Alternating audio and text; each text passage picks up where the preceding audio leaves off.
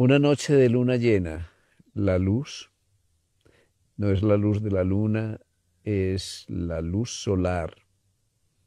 Así como la luz solar del alma se refleja a través de tu personalidad, la luminosidad que hay en ti, la claridad,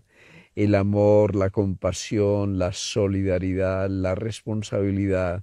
todas ellas son proyecciones del alma que se refleja a través de tu personalidad. Esta persona o personalidad compuesta de tu campo de energía, de tus emociones y de tus pensamientos, está revelando y reflejando la luz del alma que tú eres. Durante la luna llena de Tauro celebramos el Festival de la Luz, es la fiesta de la iluminación. Estamos dando a luz, nos estamos pariendo desde la naturaleza humana que hay en nosotros. Estamos naciendo una auténtica humanidad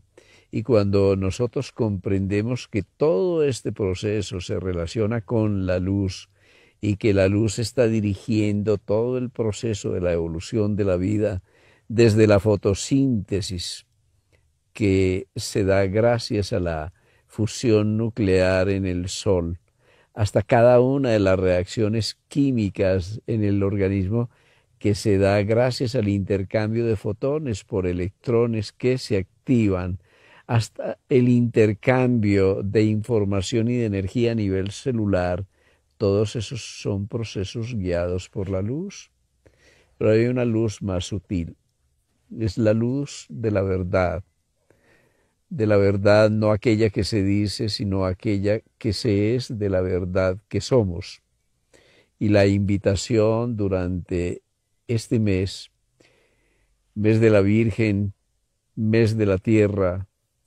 mes de las flores, mes de la Madre, es a que nosotros podamos nacer a nuestra verdad, para que seamos de verdad lo que somos, para que colectivamente seamos una humanidad, para que toda la belleza de la diversidad revele el plan de la unidad, de la humanidad que en nosotros vive para que por fin podamos nacer desde el mundo del instinto, desde el mundo de la sensibilidad, desde el mundo de la reactividad y todas esas propiedades de la conciencia, reactividad, sensibilidad y vida instintiva se revelen en nuestra humanidad para que podamos nacer a la luz interior para que podamos llevar la conciencia reflexiva que revela la luz de la verdad que somos dentro de nosotros y así podamos dar a luz esta humanidad que vive a través de la hermandad, para que así podamos dar a luz una nueva cultura de relaciones humanas sustentadas en el amor incondicional, en la compasión, en la responsabilidad, en la solidaridad, en la justicia, sustentada en todas esas propiedades del alma que en nosotros nos conduce a la expansión de la conciencia y a una libertad cada vez mayor. Estamos en el mes de las flores. Qué bueno es que desde esta crisis planetaria pudiéramos renacer, pudiéramos florecer, pudiéramos despertar la semilla de humanidad que hay en nosotros y comprender que la humanidad misma es como un órgano de la tierra, que la humanidad misma toda es parte del proceso de la creación, que la humanidad es co-creadora, que vinimos aquí a completar la creación, a perfeccionar la creación, a recrear todo este proceso de creación, que vinimos aquí a ser el cauce de ascenso de todos los reinos de la conciencia, reinos de la naturaleza que a través del reino humano pueden ascender a la quinta esencia, al reino del alma.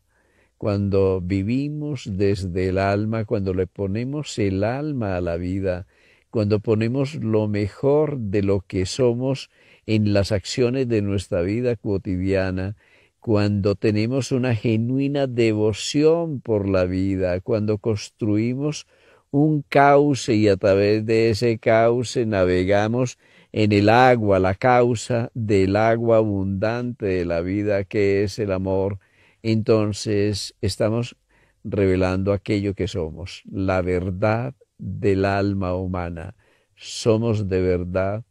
cuando servimos,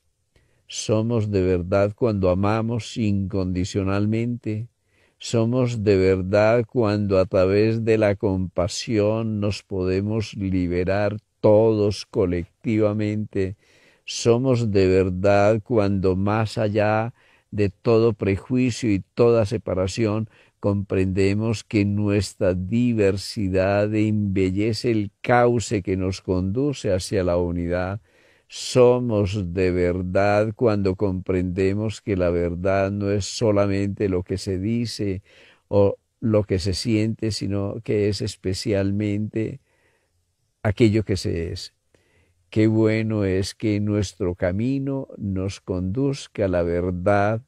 y que esa verdad verdadera en nosotros sea la vida. Qué bueno es que entre todos podamos comprender ahora el carácter sagrado de la vida y le demos a la vida misma esa nota espiritual de servir todas las formas de vida que constituyen esta gran corriente de la creación. Estamos todos muy cordialmente invitados a que desde estos días convocados desde un mundo mejor,